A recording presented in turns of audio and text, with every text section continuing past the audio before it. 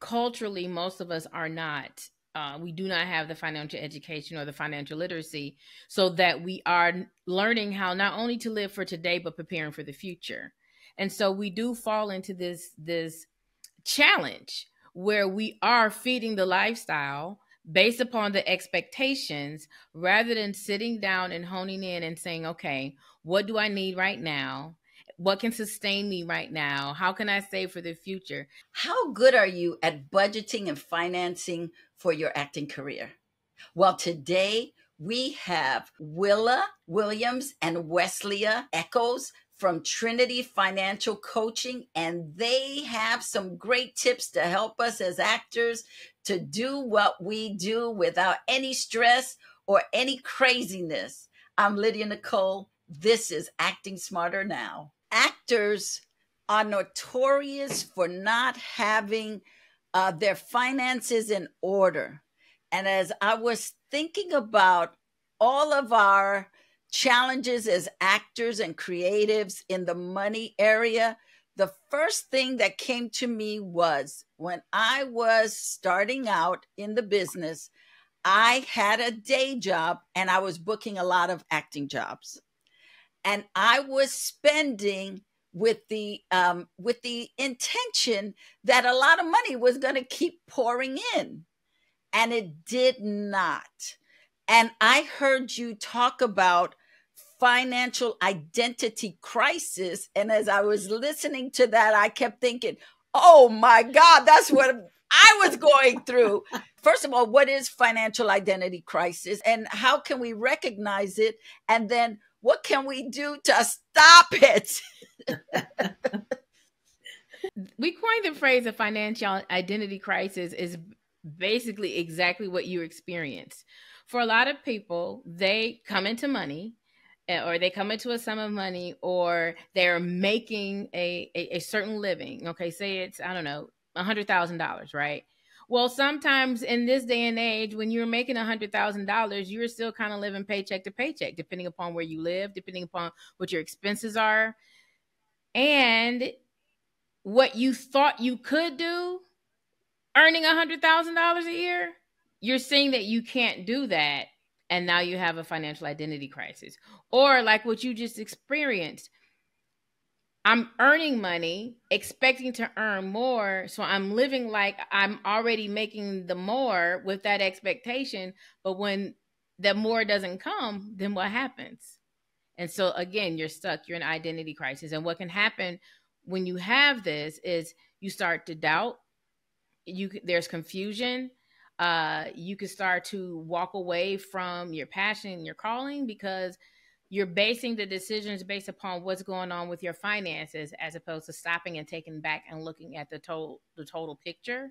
And so when we get in that financial identity crisis it's just it's just a weird space because it's it's like again it's confusion it's self-doubt unbelief. All these things come up when when when we are um, walking in that. Willa one of the things you two discussed is that in identity crisis you uh, can have the imposter syndrome can you talk about what that is financially? I mean, we know what it is creatively, but by, I never heard having imposter syndrome financially. It's pretty much the same because when you have earned this money, you you are expected to live a lifestyle, a certain lifestyle because you earn six figures. But when you find that you are not doing that, you begin to doubt yourself. You begin to doubt your ability. You begin to question, should I even be earning this? And one of the things that you asked about was how do we get rid of it?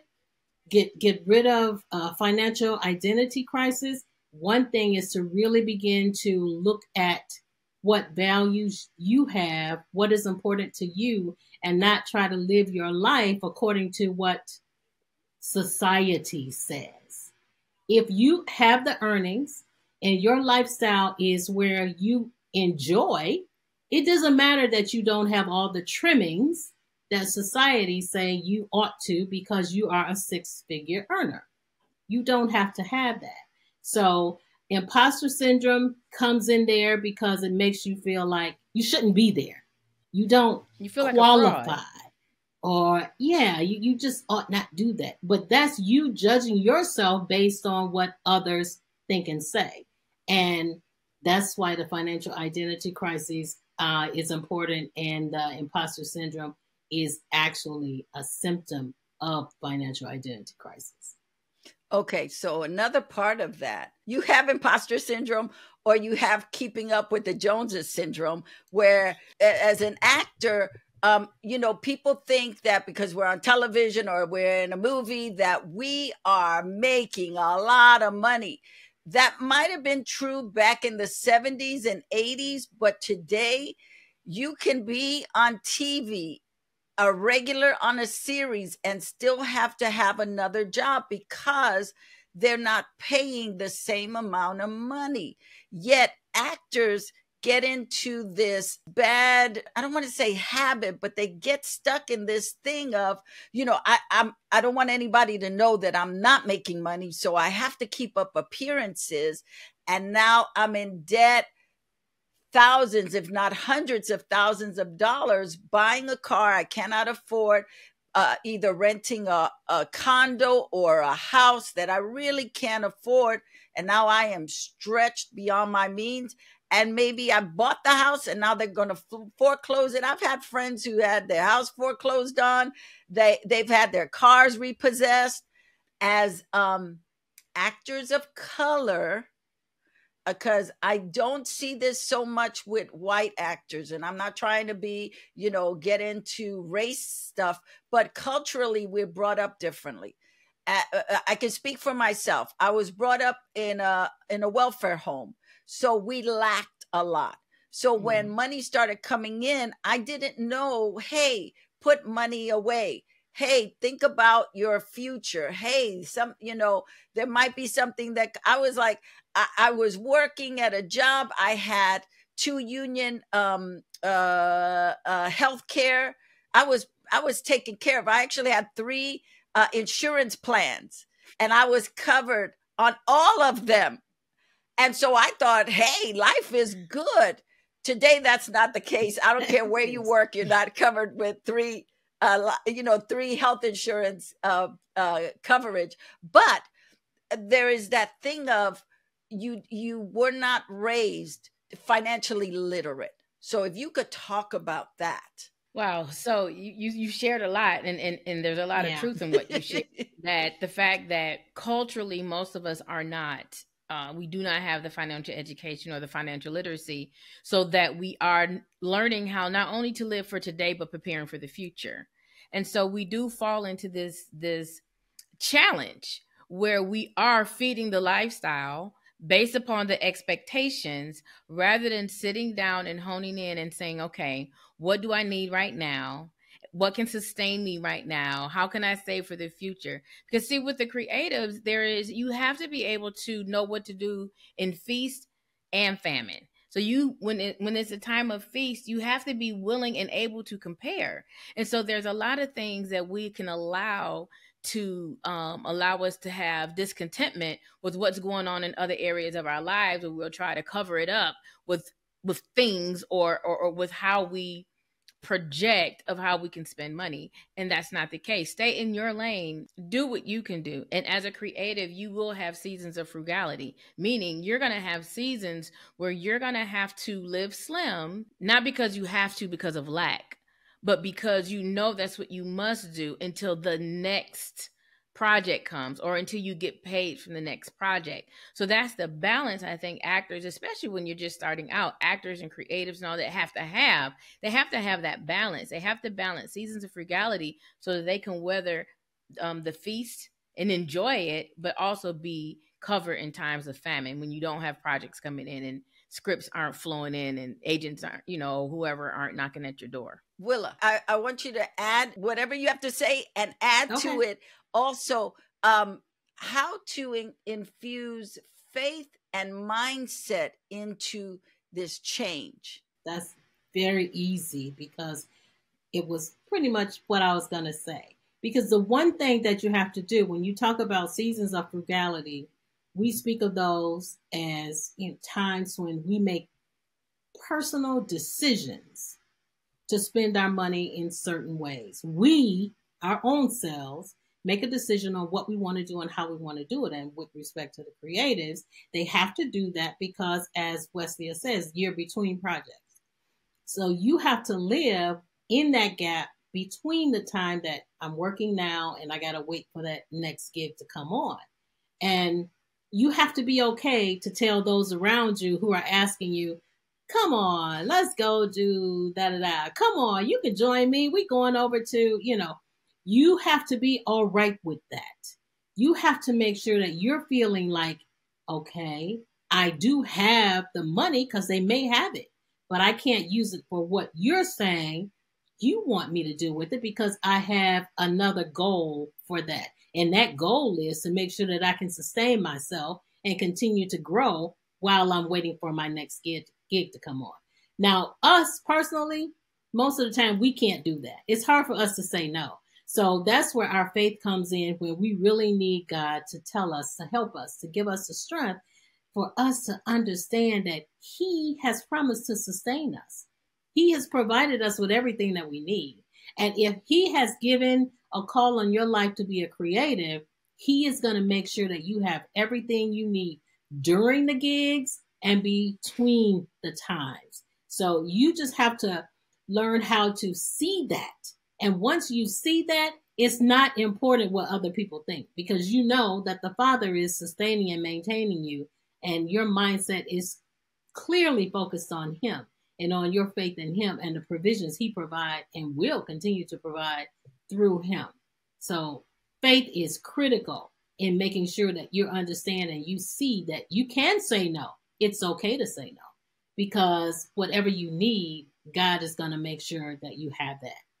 So, how do I lower the volume on my shame and raise the volume on my faith? Because it's one thing to tell me, hold on to what God's word says, but yet I've got shame that is raging uh, in my mind and telling me see you you know all these uh, you talked about confusion you talked about imposter syndrome you talked about doubt and that shame amplifies it all that i can't hear the voice of wisdom i can't hear the voice of of of of common sense and I definitely cannot hear God's voice because I've got all these other voices that are screaming so loudly at me saying, well, if you don't go with your friend, if you don't go to this event, if you don't buy that new outfit, if you don't do this, then you are a loser because if you're an actor or if you're creative, you should be styling, you should be going out there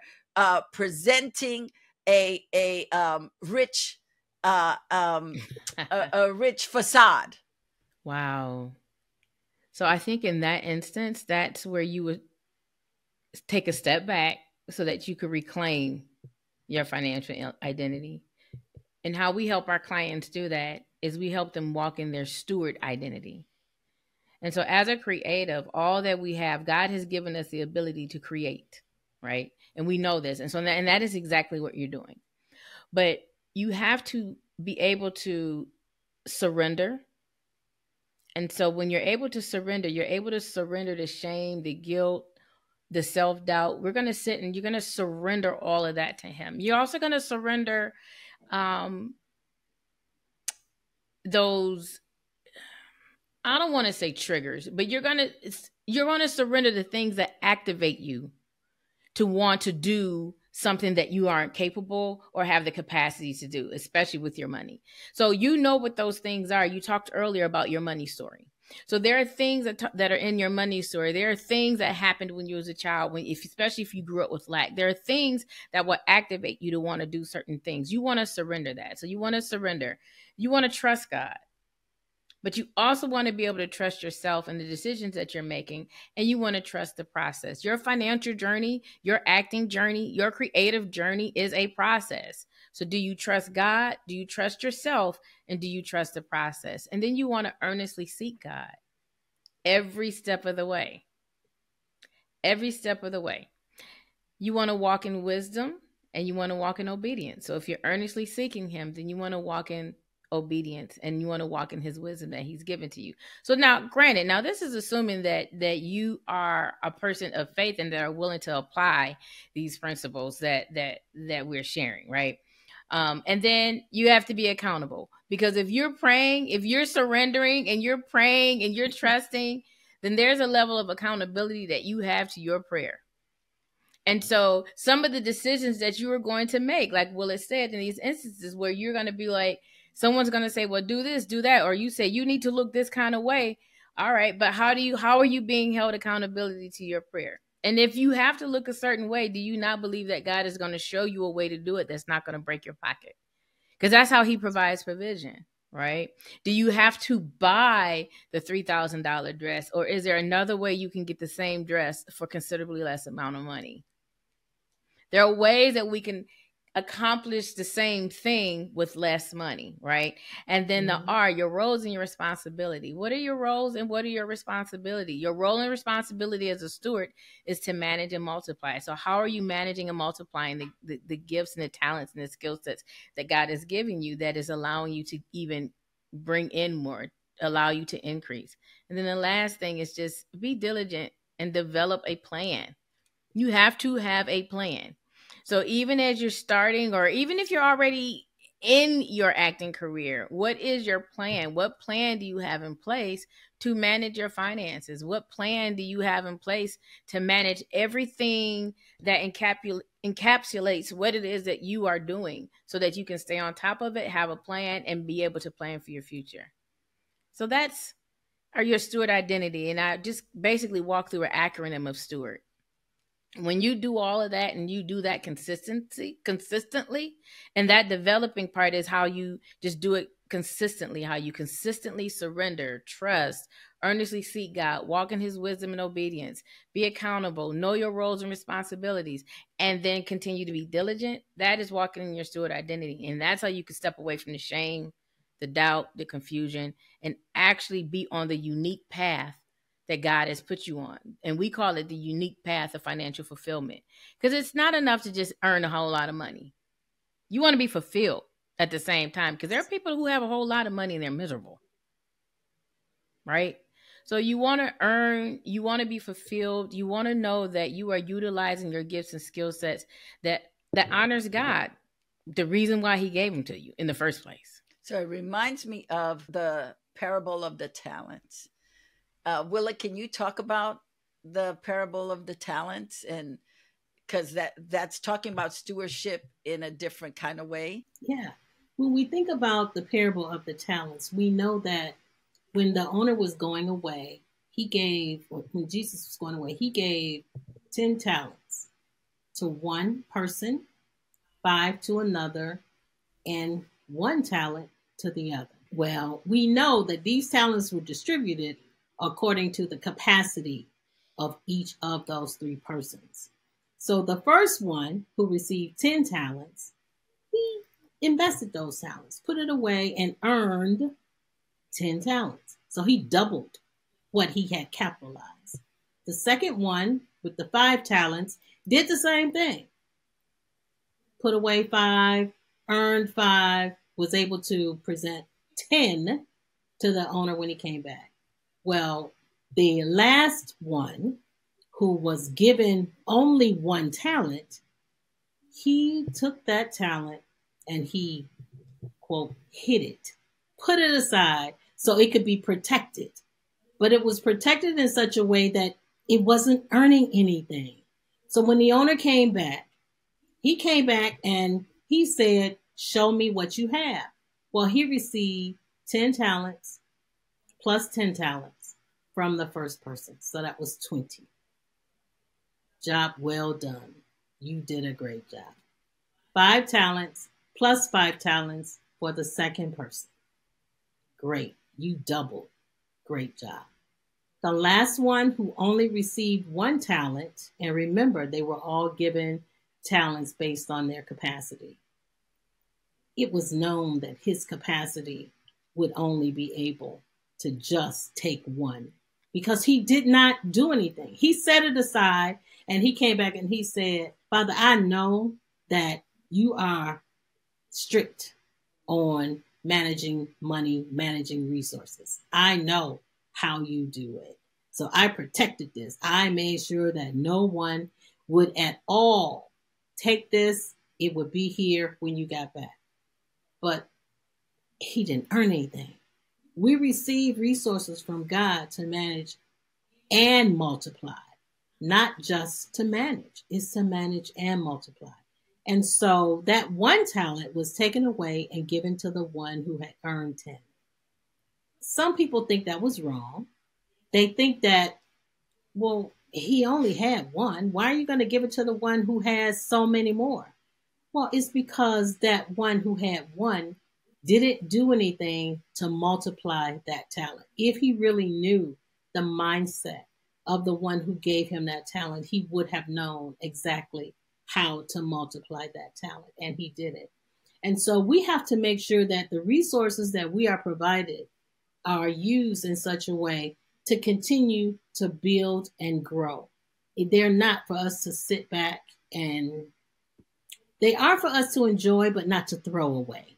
Sometimes some of the things that we do is not in enjoyment, it's really in throwing it away because we need to make sure that we multiply them so that they can sustain us now and sustain us into the future. Always enjoying a part of it, but setting aside some that we would be able to have something for the future. In the event that we are called on by ourselves, by our families, by whomever, by the Father, whomever, so that we can be prepared to help. And helping ourselves is the first thing that we need to do when we're dealing with that. There's so much about the the steward who took the one and hid it because I think a lot of artists are like the one. We want what the 10 got.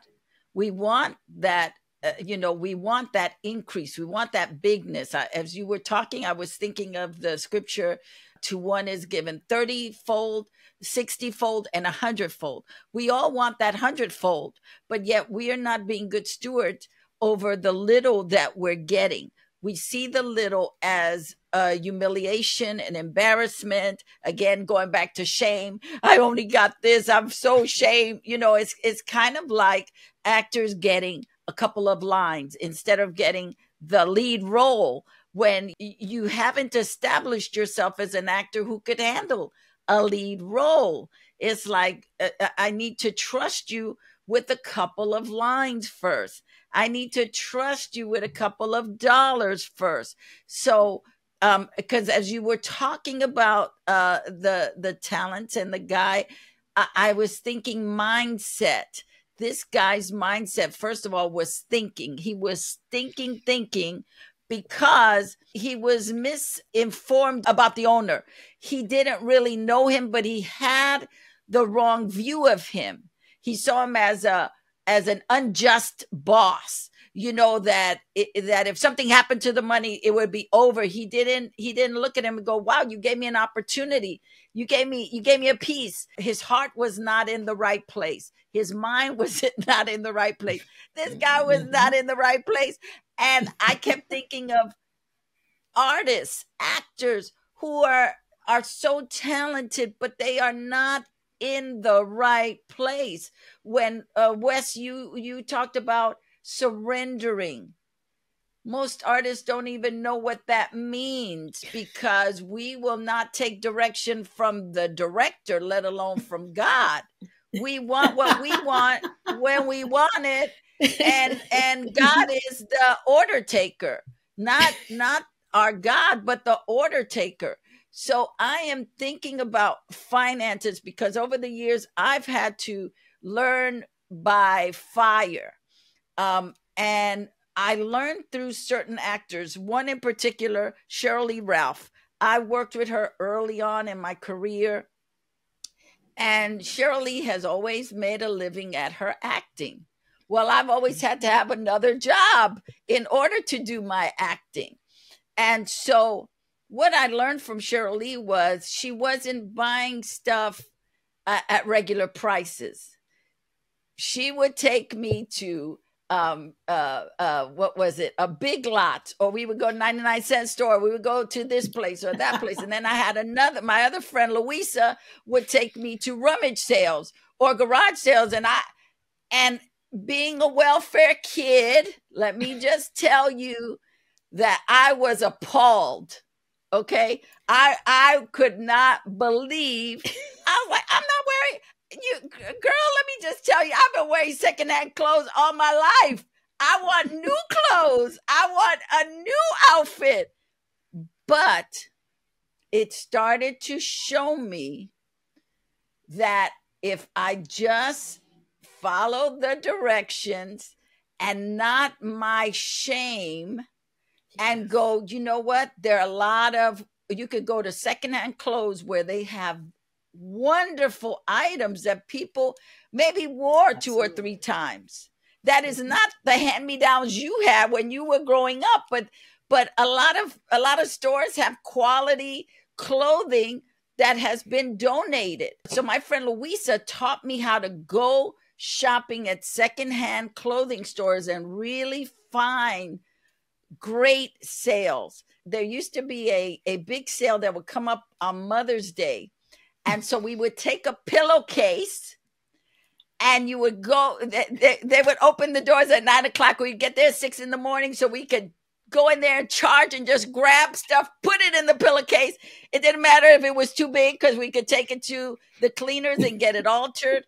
Right. But I started to learn to let go of that belief system or that shame or that trauma from my childhood and go, I'm going 99 cent store. And can I tell you, our 99 cent store closed recently, and you would have thought I lost my mother. I cried like a baby. I was like, what am I going to do? My store is closed. This is where I went for everything.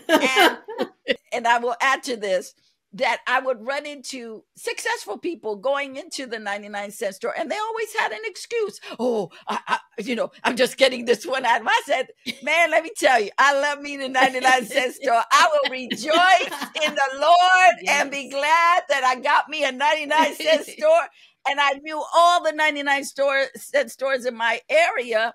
And it really uh, not only blessed me, but mm-hmm but the transformation because I let go of my my pride, yes. I let go of my uh, uh feeling um less than, you mm-hmm. know, because when when you're told that you are a welfare case. And this started it when I was a little kid, and my mother would have to go to the welfare mm-hmm. office, and they would shame her because she was on welfare. And then I went away on a on a a, a camping, uh, not a camping thing. Uh, um, it was called Fresh Air Fund, and they would send uh, at risk, uh, not at risk kids, but uh, inner city kids to communities where there was wealth.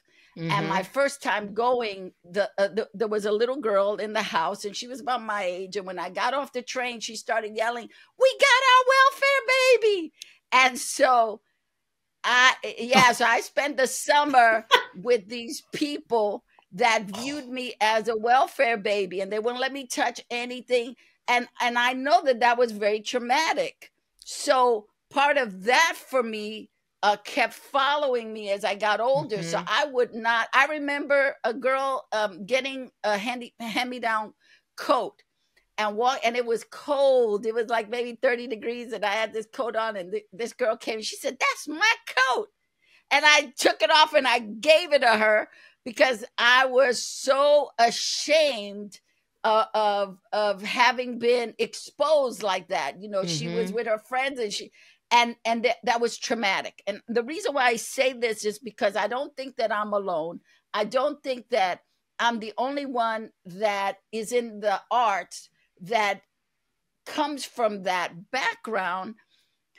Um, and and we haven't going back to we haven't been taught mm-hmm. that just because you're wearing something that was used already, it was gently worn, uh, something that, you know, it, it, it's not a big deal. Uh, rich people do it all the time. You find more people all at more rich people at consignment shops. Right.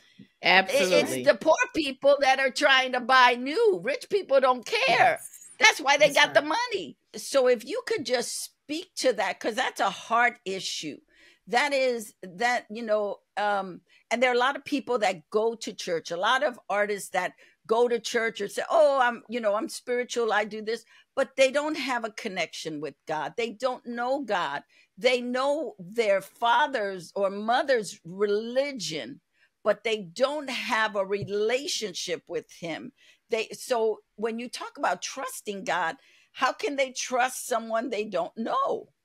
Well, that's a part of the steward identity that Wes spoke about earlier. The E letter in the acronym, excuse me, is earnestly seeking God. You have to seek to have a stronger relationship with Him.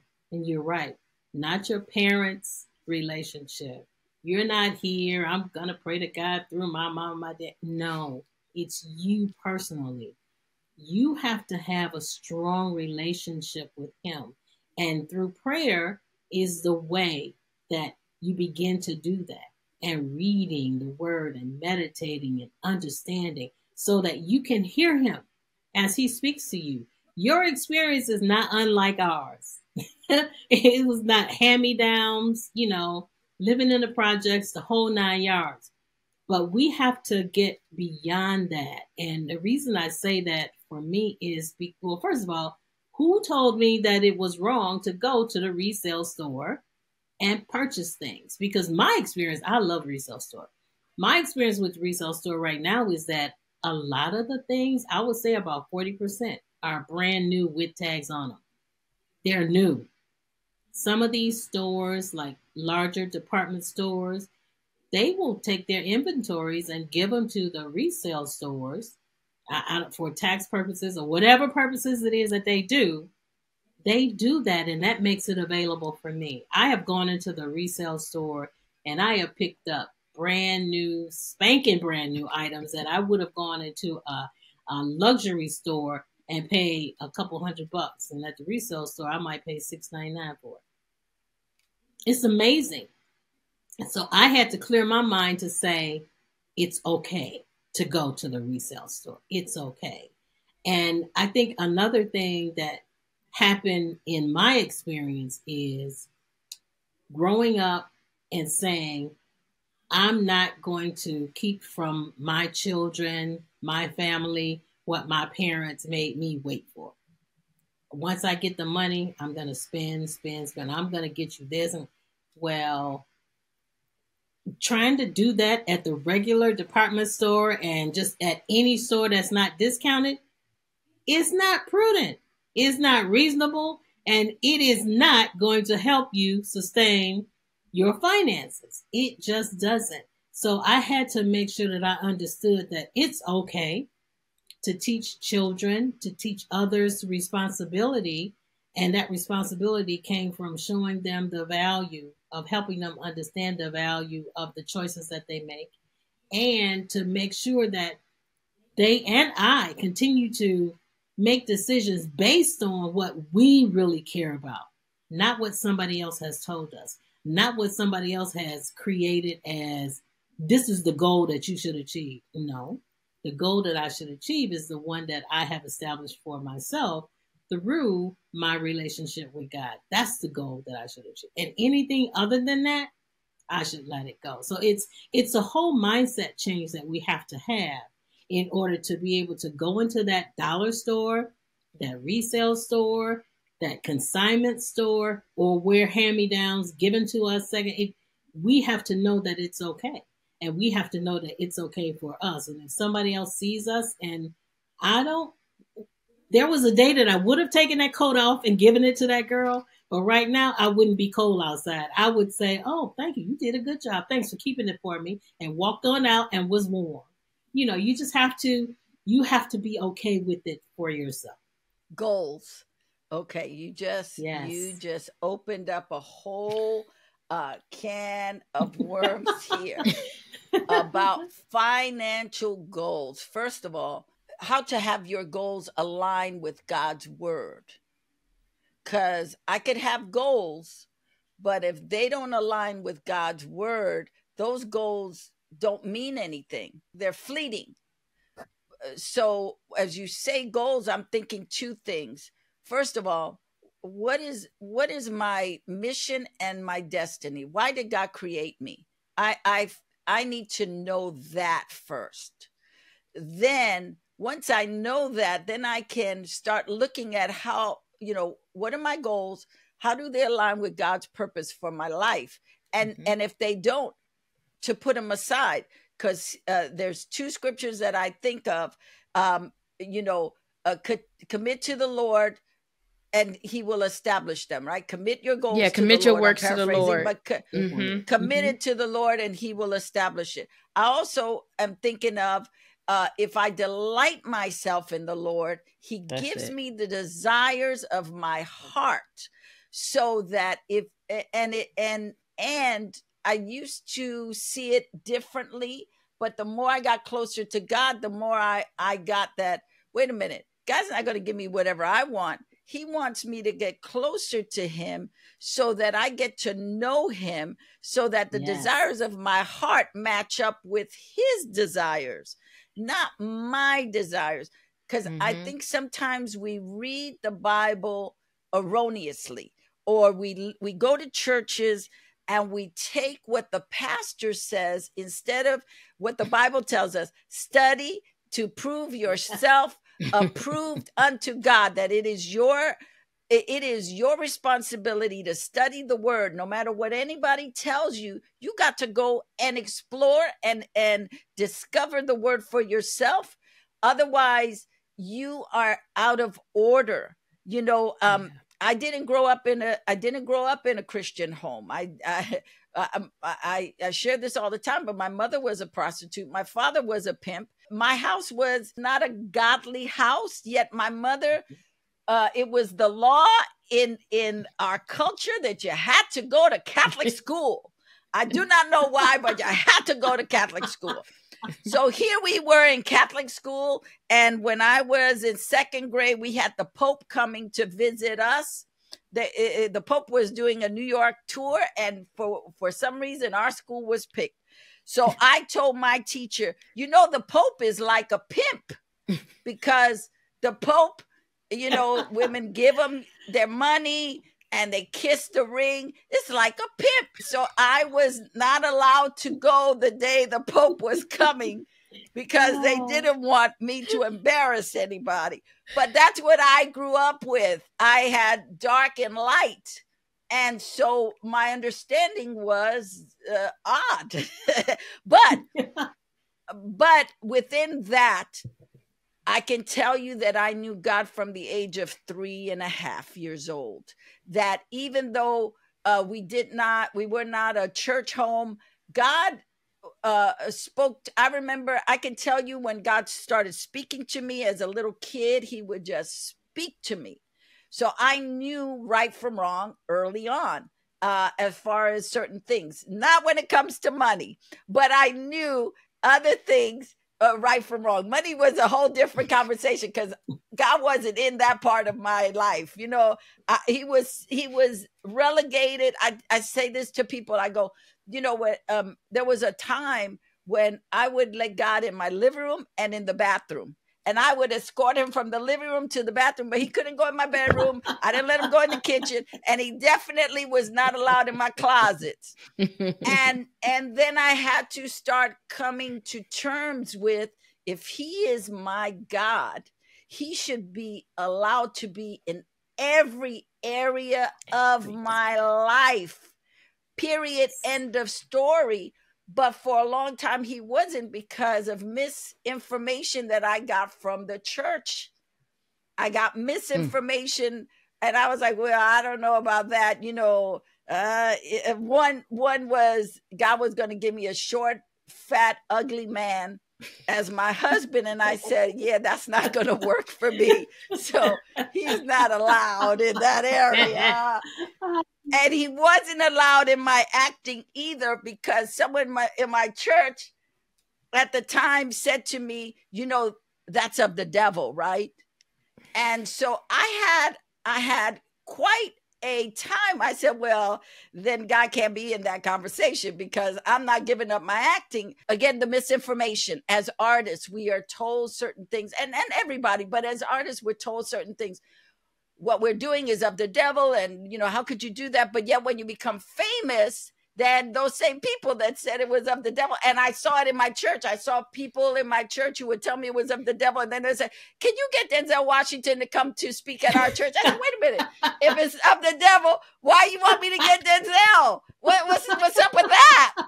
You can't have it both ways. And so it yep. wasn't until i had a, a, a, a pastor or a minister uh, Tim Storey, who spoke to me, who who who said to me, God made you this way for yeah. this time so you could yes. fulfill the destiny that He gave you. Absolutely. And that's when I that's when I understood, oh, God gets to be in everything. These people are stupid. They don't know what they're talking about. But my God loves artists. My God loves prostitutes. My God loves, you know, because that was the other thing. It was like, well, your mother's a prostitute. I said, wait a minute. Jesus loved um, um, Mary Magdalene. Don't give me that smack.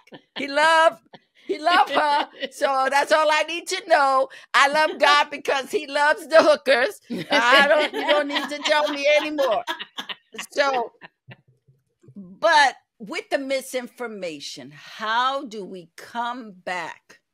Start seeking after God earnestly. Going back to what you said, to seek Him earnestly. What does that look like? Seeking God earnestly looks like you wanting to know who He is, first of all. You want to mm-hmm. know who God is. You also want to understand um, who you are in Christ. So who is God and in all of his facets and all the facets of him? Who are you in Christ? What does it mean to be in the image of Christ? What does what does all of that mean? What does that mean? And then you also want to understand like how the Holy Spirit moves in order to guide you. And I think though foundationally, those are three things. So as you are learning and as you're growing and as you are are searching, first of all, yeah, who is God? Because oftentimes, you know, you know, you hear the people say, you know, God is like a father. Well, if you don't have if you have an estranged relationship with your natural father, then it's going to be hard for you to see God as a father. So you got to understand who God is in totality because he's so many things, right? Um as it relates to your your question about, you know, aligning our faith with our finance, I think financial fulfillment and building wealth is something that has to happen from the inside out. Um because the Bible speaks over 2,400 times about money. So clearly, money is an important thing to God. Why? Because money is about the only thing that comes between us and God. Money becomes that idol. So when the Bible is saying you can't serve two masters, you're going to love one and you're going to hate the other. We're talking about and we're not and i'm not saying money because money is a neutral money is amoral. But there's the thing called the spirit of mammon. And the spirit of mammon can rest on money such that we then begin to put all of our faith our security our worship uh, everything to either the money or the chasing of it. The only way that we can present, prevent ourselves and position ourselves to not fall into that trap because no one is immune to that. All of us, me, you, Willa, all of us could fall into that trap. The only way that we can do that is by honoring our steward identity. And that's that, again, that consistent surrendering, trusting, seeking. Because if not, then we will, all those other things will begin, begin to raise itself up, which is why we have this shame because it's supposed to look like this but I'm right here. No, you're okay where you are. And you're okay to follow the path and, that God is leading you and at the pace that God is leading you. Because sometimes our journey is paced because we lack the character, the integrity, and the capacity to handle all that God has planned for us. So if you truly believe Jeremiah 29 11 that says, I know the plans I have for you plans for you to prosper, plans for, so if, if you know that he has a plans for you and, and there are things that are predestined in your life, they're laid up, they're waiting for you, waiting for you, but it's not released because we are in alignment. And that alignment is a growth of character, it's integrity, it's morals, it's it's all of that for us to, to have the capacity to receive it. You know, we, we want, you know, you might want a private jet. If God gave you a private jet for you to get back and forth right now today, what would you do with it? Do you know a pilot? do you do do you do you have do you do you know how to fuel it? Do you have access to a tarmac? Uh, do you how you you know? I was just gonna say you can get the money for the for the jet, but then you don't have the money for the fuel, right? It's kind of like you buy this That's expensive right. car and then you cannot buy the gas for it. Right. Or take care of it. That's right. So the thing is, is that we all have desires, we all have dreams. Are we willing to stay in alignment with God and allow Him to release them to us as we are growing and maturing, not only spiritually, but mentally, so that we can receive it? And, and when we the, do it out of uh, alignment, uh, I think that's when things get a little wonky. And and I would add to that, it's the waiting on God, not uh, passively, but actively. Absolutely. That you're waiting on God actively, doing your uh, uh, uh, being diligent on what you need to do. Take your classes, uh, build up your income. Um, you know, take, take care classes. of your responsibilities. Mm-hmm. Do you know? Uh, do what you have to do because God works with us, but we have to do our part. I, I uh, again, um, I know certain actors who are Christian who they're waiting on the Lord, but they're not doing anything. They're no, just wait. I, I said, wait a minute, wait a minute. You know what? God, God sent you to me so I could give you the steps to take. That's why he sent you to me because he said yes. Lydia knows the steps. Not that I know everything, but if somebody comes to me, then I know that's my mission is to say you're supposed to do this, this, this, and this. And I've had actors tell me, "Well, I don't need to do that." Well, then you are not really serious about what it is that you want because you can't want to be an actor, a singer, a dancer and not work at it. You you need the craft. And a lot of times we have people who are gifted not talented. They are gifted and they put the gift above the gifter. And yes. and you see it in churches all the time mm-hmm. where you have the worship singers that have these glorious voices and they are out of control their their lives are out of control they they do not um they do not serve the god they sing about and so as creatives we always want to be clear that God is the big creator and we're the little yes. creators. And yeah. we don't move unless he tells us to move. That when he's put a gift in us, and this is what I had to learn because, again, when we have misinformation, we do not know. God put something in you. He's not going to give you something and then say, I'm not going to let you use it. I'm not going to make you this outrageous singer and then you can never sing to anybody.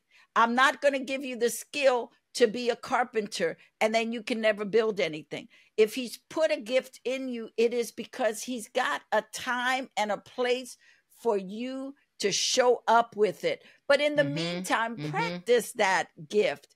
Continue to sing. Continue. I think of Whitney Houston, who had a most amazing gift. She opened her mouth and and and you felt the presence of God in the room. Same as Aretha Franklin, same as um, uh, Barbra Streisand. You feel the anointing when they open their mouth. But just because they have the anointing doesn't mean that they are superior than everybody. We go back to the scripture where it says, Think of yourself highly, but not more highly. So we are all supposed to think well of ourselves, but I'm no better than you, and you are no better than me. And so, and, and, without knowing that scripture, when I was a kid, I'd walk in that attitude. You know, if somebody I said, wait a minute, you ain't better than me. No, you're not. I don't care. And and and that was already in me. That that scripture was already in me before mm-hmm. I knew. But but to be able to sit and let people teach you things you do not know because we don't know everything. You know, artists excel at their creative ability, but when it comes to business and finances, probably 80% of the times you see the downfall of creatives because they don't understand money management. They have no idea of being a good steward over anything because some of them have been pampered. They've been uh, spoiled in one way while somebody's taking their money uh, the other way, you know. And I worked in the record business uh, when I first, um, early on in my career, I worked in the record business for 15 years and I saw people taking such advantage of incredibly talented and gifted artists because they didn't know anything about their money. Not one thing. You said, Did you open up your bank statement? I got a bank statement. it's like, What? How do you not know you got a bank statement? I saw artists, well, one in particular, they amassed a lot of money. They were huge. Their business manager took everything and they were living in a Bel Air. And one day the sheriffs came knocking and told them they had a half an hour to get out because their home was sold. The business manager had everything in his name, sold the house, took their money. They ended up having to move into a three bedroom uh, uh, uh, home uh, apartment in in God knows where, away from the city. And it was because they had no idea of business.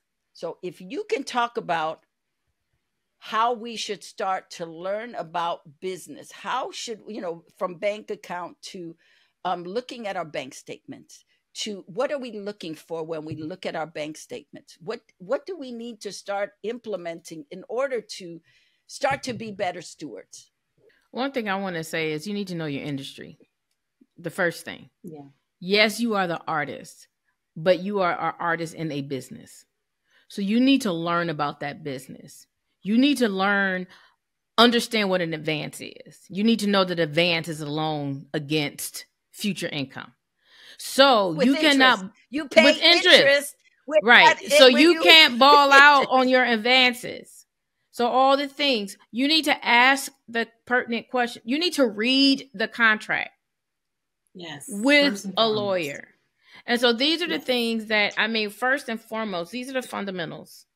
If you are already employed and you know that you want to get into this industry, then I'm going to recommend that you save or start saving or you have money in in an, in an account that is earmarked specifically for developing this craft because you are going to need an attorney. You're going to need if it's five hundred dollars a contract, if it's however much a contract, or, or or whatever the retainer is, you need somebody that can read those contracts so that you can know what it is you can expect to earn out of that. From there, then again, that's your budget. So, what is your budget? What is your bare bones living budget? Right. I the reason why I say bare bones is because if you're not working and you're only going to um, live off the money that you earn um, from your creative job, when we talked about that feast and famine, but then you need to know how much money is going to take, which is going to add into how much you're going to need to save in order to survive, right? So if you know that you're, because you don't want to lose your house, your car, you need to be able to eat. And if you have medical, and especially if you're paying it out of your pocket, you want to be able to con- continue that. So you want to make sure that you have enough money saved up so that you can continue to pay those things when you don't have a check. So when it when it all comes in, make sure that you have at least three to six months of that saved up because I don't know how long it, the, the, the turnaround is before you get a next project. So that this is how you have to think about your money when you when it comes in um irregularly and when it comes in in chunks. This is kind of how you have to look at it. Also, if you are already working and if you have debt, then you want to probably live out of the money that you're working out of. And then the money that you get from your projects, you can earmark that for other things. For, like I said, that future savings, earmark that to get out of debt. Because the sooner you get out of debt, that's more breathing room you have the next time you have a project or the next time you have a break between projects. So there's, I mean, it's, there's certain strategies that you can use. I think is going to be based upon the individual person, but just in general, as I'm just thinking about different type of um, situations, those are some of the things I can think of top of hand. Get a handle of your debt. If you have a lot of debt, get a handle on that. Get a pay, get a, a, a determine what type of payoff strategy you're going to use to get out of your debt the monies that you get coming in from projects, try to save that up so that you can buy the additional professional services that you need. Start saving up for your union, whatever union that might help offset some of these things because you might have a union that offers medical, you have a union that offers, you know what I'm saying? So, whatever it is, while you're getting the hours, start saving up for that. Again, you are aligning your money with your values and your beliefs, and you believe and you value your opportunity to be able to share what God has put into you in the in the area of the arts, whatever that is, singing, dancing, acting. So you have to make sure that you are continuing to position yourself to take advantage. I don't know, where are the auditions? Do you need flight in money? Do you need transportation money so you can get back and forth to auditions? So these are some of the things that you just kind of have to think about if you're going to pursue this. And I hear the stories of people who say, well, you know, I went out to LA and only had seven hundred dollars, and I didn't know how I was going to do it. I mean, if you want that to be your story, then then you need to listen to that person to figure out exactly what they did. but again, the steward identity for you is for you to understand what your story is. So what can you do? So if you are actively working, how can you begin to save these monies? Yes, you're going to have seasons of frugality. So you might be living a minimal life, a, a minimalist lifestyle right now. Why? Because you believe in the dream. And because you believe in I the would. dream, you, are willing to invest in the dream. And so that's why yes. you're not spending a lot of money on a lot of things because you know you have to invest in the dream. I got to pay my lawyer. I got to pay this person. I got to, I need to be able to get to auditions. I need to do these things. So I think that there are a couple other things too a, a lot of creatives and those mm, just people generally do not have bank accounts. You need to have a bank account so that you can really understand banking for yourself. Just like Weslia has said, you need to know and understand it for yourself. You need to be positioned so that if a contract comes to you, you have the ability to have an attorney to read it. Know what the terms are know that if you do get an advance, it's going to be interest attached to that money. Have your attorney rewrite it or, or do whatever it takes so that you agree exactly with the terms that you get. Make sure that you are bank. And a, a one thing you talked about shame earlier. Humble yourself and eliminate the shame so that you can approach those persons who have the information, a professional, an attorney, a banker, to give you directions on how to get to where you need to be with respect to financial literacy, financial education, banking. Know the jargon, know the terms, know that you need a checking account, you need a bank account, a savings account. Know what a debit card is. I don't know how many people are using checkbooks now, but there's still some out there writing checks. But no, and get your receipts so you can track what you're spending and track what's going on. And the three to six months so that you can live comfortably between projects and gigs. Make sure that you have that, but you got to have somewhere to put it. So a savings or checking account is critical. One that's in your name and not your name and the manager or just the manager, because then you can eliminate those situations like you described where the person, their whole, their property was sold under them because was it really in their name? We don't know. But make sure that you can walk into the bank and go to your bank account and manage your funds that you have put in there and you can use them in any way that you need or you feel necessary. You have to be able to do it for yourself. I want to add two things to the the savings, the 3 to 6 months. Here's what actors need to know. Sometimes you are waiting a year, 18 months before you get a job. that three to six months is not going to is not going to be a runway for you so while you may have six months of savings you need to have at least a part-time job that is still uh, bringing in some kind of cash that you're not depleting that six months right away because i i also i've been there i you know i had that little nest egg but it didn't come for a, mm-hmm. a, a mm-hmm. much longer period what happens mm-hmm. is you start to get desperate then you take jobs that compromise you you you know you want to be working as an artist so then you take a job that compromises you that you would not normally take but you and you see it all the time I mean we see it all the time people take jobs because they got to pay their mortgage they got to pay uh, their team you know if they have assistants or they have a driver or whatever. And they're just taking the jobs because they got to earn money.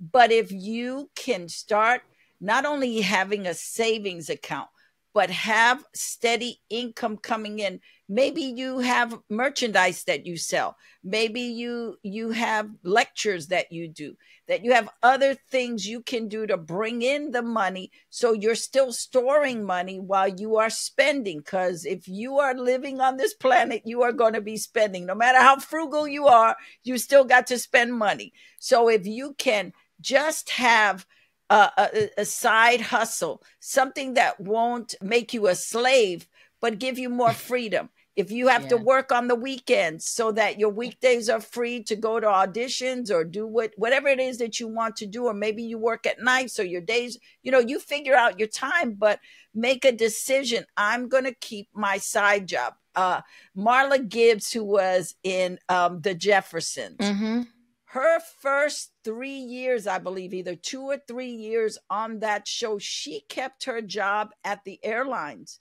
because she said this could go tomorrow and I won't have and she was making good money, but she did not let go of that job for for a long period of time. Mm-hmm. We want stuff and we want it yesterday. What yeah. what I've learned the hard way, I've learned this the hard way is that you you can't go okay i'm gonna have i'm gonna have a nest egg and then i'm gonna leave because let me tell you i left my job many times. I left you know i had a job and then i said okay i've saved enough money. I'm out of here. I'm gonna and then i was back to looking for a job because my money ran out and and the jobs that came in did not meet my financial needs. So i just want you artists you actor to know that in the day and age that we live in, the, the paychecks are not as big as they used to be. So you have to take care of yourself financially. And if you have income coming in, you won't feel like you're drowning. You won't feel like, uh, uh you know, you won't hate God because a lot of times we start yeah. hating God because we go, you put us in, you put me in this situation. You know, um, it, it, he didn't tell you to do what you did. So mm. you have to take mm. responsibility. If God if God tells you to go somewhere, then He is opening the doors for you to get yes. what you need. He does not give you vision without provision. But a lot of times we have our own vision, and then we're expecting Him to give our provi- uh, to to be our provider. Yes, right. He is Jehovah Jireh, but there's a but in yeah. the conversation, people. Right. And so we have to be we we have to work wisely. We have to be, um, you know, you talked about, you know, the person who who went to who came to Los Angeles with seven hundred dollars, and then everything happened. We don't know if God told them to go. If God right. said, "I'm opening the the door for you," I, I can speak for myself that when I came to California, I had five hundred dollars in my pocket, and God opened the door for me to to get a job at a record company, and everything just started moving in my uh, uh, in my favor but he was protecting me i wasn't yes. doing anything on my own i was like okay i'm gonna go here okay i'm gonna go there and you can tell when god's got you and when, when he doesn't when he doesn't have you you are crying out to the Lord. Yes. And when He's got you, even when it's tight, you're like, okay, no worries. Let's go do this It's all right. It's going to work out. I don't know how, but it's going to work out.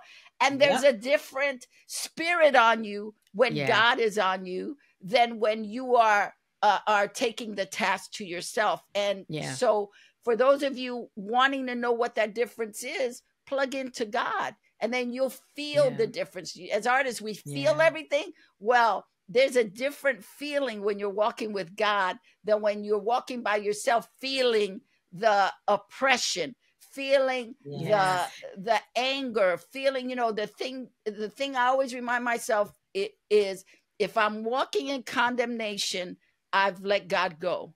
Because God mm. does not condemn us. He yes, convicts us, right. which is different. Conviction is just correction. It's yes. just saying, okay, that's not where I want you to go. That's not what I want you to do. But but um, when he is when you're feeling condemnation, the devil is on you. Somewhere he seduced you to open a door so he could slam you down. And you have to know that. And mm-hmm. and I think you talked about the finances, the spirit of mammon. Mm-hmm. The Bible tells us uh, uh, money answers all things. It also tells us uh, about money is that the love of money is the root of evil, not money, but not the money. love right. of mm-hmm. money. Right. So, who That's are right. we loving? Am I loving God or am I loving the money?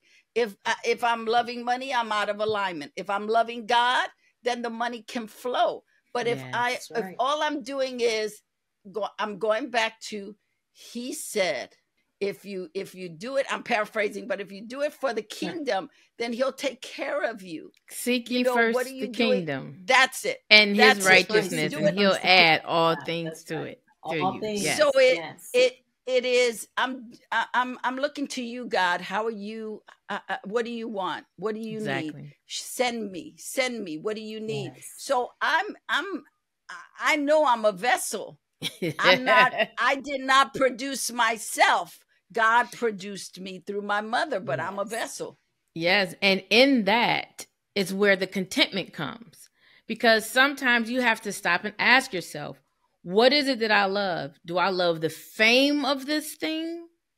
Or do I love what I'm doing? Is the acting is what's fulfilling and and you're able to get parts and you're able to pick your parts parts that you know resonate with you um you know because you made mention of doing anything just so you can get the money and i don't think you want to be positioned that way you want to be positioned to be able to be picky about your parts mm-hmm. and say what mm-hmm. you know and trust that god is going to create that path for you to be able to do that and the provision for you to be able to do that so that you can again maintain your integrity maintain your character right so it, it, it's contentment when you are earnestly seeking God and He is first and foremost in your life. You have contentment, and you were okay. And you were okay with your nine to five.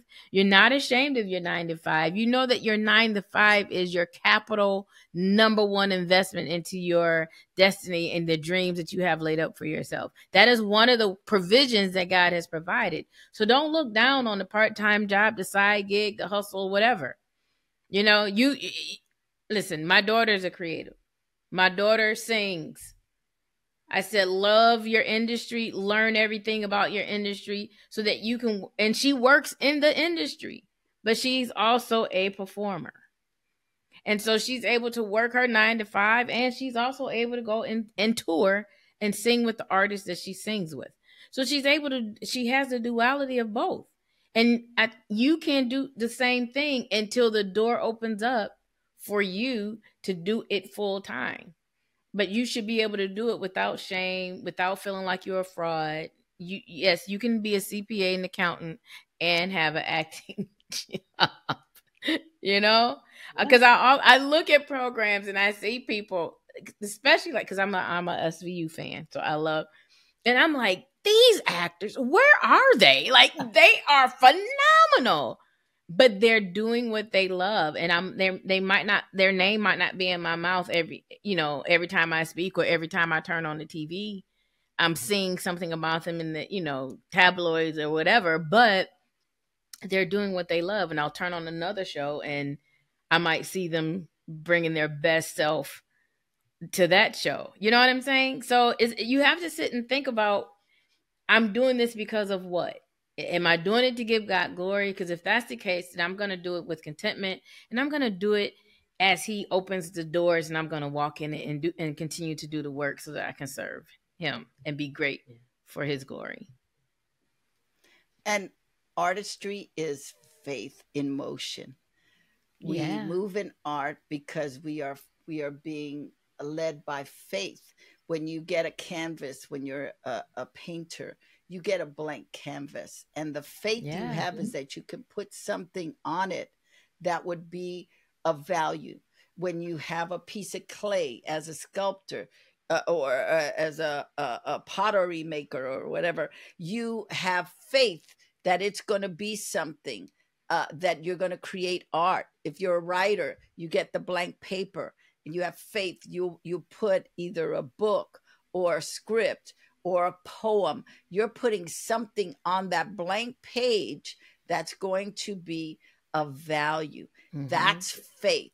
And as artists, we have to stay in alignment with our faith. God gave us these gifts not for us, but for us to be able to bless someone that when you write something that it touches someone that it it yeah. transforms them you know just like being good stewards of finances that does transform people you teach something or you teach uh, finances to transform people's lives yes. so i want to talk about first of all your business wealth and wisdom together you have a podcast. So yeah. I want to talk about how you girls got together to make this happen. My gosh. Do we have time? oh, wow. Okay. So, long story. So yes, Wealth and Wisdom Together is our podcast, but we do we also have own a company called Trinity Financial Coaching. And with Trinity Financial Coaching, we uh, provide a one-on-one and group coaching and in our podcast, our podcast is our our creative outlet, right? to empower our audience um, to be able to do just what we said, embrace their steward identity and walk the their unique path to financial fulfillment. And then on the coaching side is where you work with us one on one or in a group in order to do that. If you can't just self coach yourself through the tips that we're sharing on our podcast. Mm-hmm. Will and I have been friends for a long time. Um, long time. What, over over 20, 20 years, over 20 some years. years. Um, yeah. and we each have our own individual stories as it relates to finances, but we knew that the common thread was really how we were able to see how God showed up and and and allowed us to walk our unique path. We came together mm-hmm. as church members because we were members of the same church, and Willa actually, I was a financial advisor before I started doing this. So, um, and on my journey, I stopped doing um, what I was doing as a financial advisor to raise my children because I needed something that was more stable. So I started teaching financial literacy courses at our church in order to continue to do what I loved about being a, a financial advisor um, and Willa was a student in one of my classes. yep, yep. She was a student in one of my classes. and so we continue to journey, we continue to serve. And so now we're serving on the same team. We're serving on the stewardship team at church. We're we're we are helping to teach financial literacy. So she's walking with me and te- and we're teaching together now because we're growing the team. Yeah and so we got this idea. I had this idea, and we were both talking. We're like, this needs to go beyond our church. We need to take this to the masses because our our church can't be the only church that's understanding how to actively walk as a as a steward. So we come together, we have a meeting, we're talking, and so she brings the workbook that I provided. and one of the assignments in the class, uh, it was like if you could do anything, money was not an object. If if there's anything that you could do in your life right now, what would you be doing? Money is no object. What would you do? And she literally was writing. She showed it to me because I didn't know at the time that she would be teaching. She would have a company where she would be teaching um, people financial literacy and, and counseling them and coaching them and how to build wealth. Blah blah blah blah blah. And I'm like, what? Yep. That's what you want to do? And yep. we were like, wow. So we're like, let's do it. and that was that was 2011, 2011 at yep. my kitchen table. Yep. And we were like, let's do it. We're going to do this thing. And that's how Trinity Financial Coaching started. And we just, and we've been moving and going ever since, just again, coaching people and helping individuals um, tap into who they are so that they can walk their unique path for financial fulfillment. So they're building wealth. Willa. Yeah. When Go you ahead. started the class with Wes, what were you doing at that time? When you when you were taking classes from her, what were you doing at that time? My husband and I took that class, and at that time I was working in municipal government. So I was an administrator. And I would meet these people. I was working in housing first. And I would meet so many people who they were struggling with money. And it was in public housing is where I was working. And so they would in our state where I was, which was in Michigan, there was a governor who was elected and he eliminated general assistance. That was the name of that program. And that was where 18 year olds could get their own welfare check, have their own, um, have their own house paid, rent things paid for. And so many were cut off. And so they were not going to have it anymore. And they were talking about, well, where am I going to live? And, and what am I going to do? And I was trying to really understand how do I help them understand how you can move beyond working, well, move beyond depending on this program and any other program like this. And knowing that, knowing the needs of those mostly young women, and knowing what my husband and I were trying to build, because at that time, I think we had been married about 15 years or something like that. And we were working, both of us individually, but we also had our own business. And so you're working and you're trying to build and I'm like, I still need to know more about finance. And so you go to a church, and we were new to this church. And I found out that this young lady was having this class. No, I got to be in that. So the both of us joined it. And I did. And she's right. The goal that I had in my notebook was that in five or 10 years, I would be working or I would have a financial education company so that I could help those women that I had in the back of my head and help myself. And also recognizing that I didn't have anybody, nor did she, when we were younger, teaching us how to take that dime and break it into 39 pieces and spend it five and six cents. We didn't know what to do. No one was teaching us that. Our parents taught us what they knew, but they didn't always have all of the education financially to show us how to not only earn money, but make it grow without grinding. And so we wanted to be able to do that.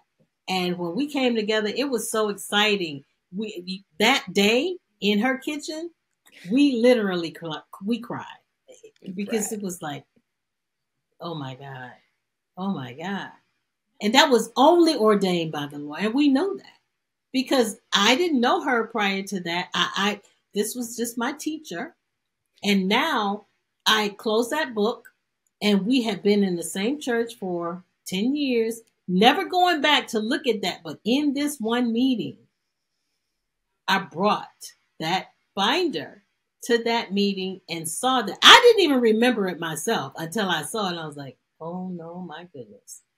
Oh my goodness. And then I showed it to her. And so that's that's that's where we are. So Weslia and Willa became we were the financial czars in our church. But we realized that there were there we I mean we were there were so many people outside of our church who needed the education as well that you know we just had to pray and ask God to give us a direction to go to get it not only in the church but also make that knowledge available outside of the church and we're just still working at it still working at it because he has not told us to stop. We're still moving forward with the one on one coaching, our group coaching program, with our podcast, what, whatever it is that we need to do to do that. We believe the scripture that you talked about, Matthew 6 and 33, seek ye mm-hmm. first the kingdom of heaven. So that's how the, the creatives, the actors, all of them seek that first, not mammon, not the money, but seek him and he will direct you and add all those things that you really want the money, the things, the opportunities, the blessings, they will all come. But prioritizing him is what we really need to do. And I'm just so grateful that uh, Wes and I got together and we're just continuing to grow and continuing to serve. And that's what we see this as really a service. So we talked about crisis, financial crisis. We talked about trauma. We talked about struggling. And we talked about starting to heal and align ourselves with God. How do we start to grow our wealth? There are many paths. Yeah. uh, so I think fundamentally, you need to begin to understand that your money has to work harder than just your savings. Um, because your f- money has to keep up with the rate of inflation. So you want to start looking at different ways that you can get your money to earn an interest rate that's over inflation, so over 2%. So you want to start looking at various ways that you are able to invest.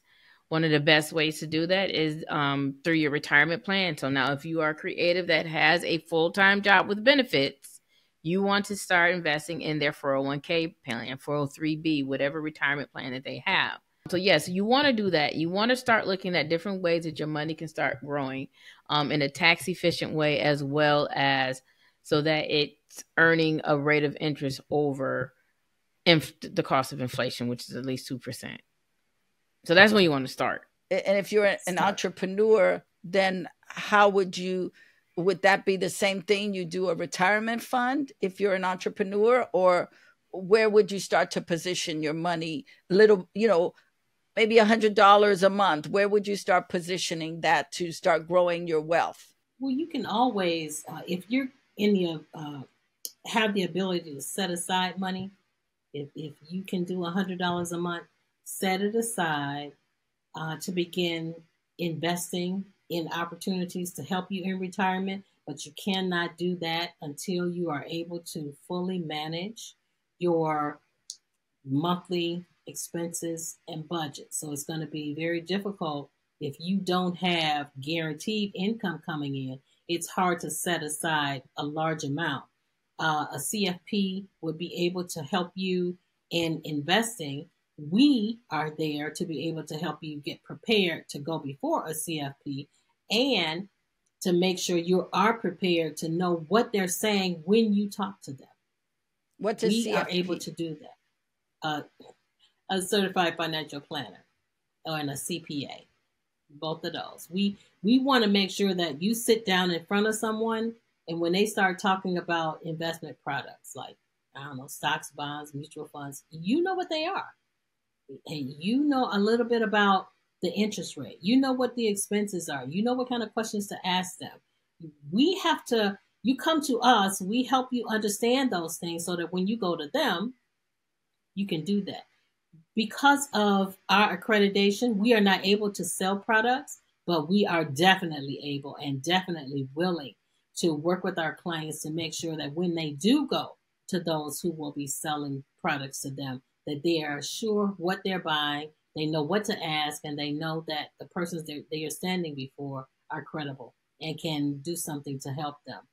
But as Wes saying, taking advantage of the opportunities that you have in your full time job, if you have those, that helps you to begin to position yourself for insurance. And another thing I think that's very important too, as you begin to build your assets, make sure that you protect them risk assessment is critical.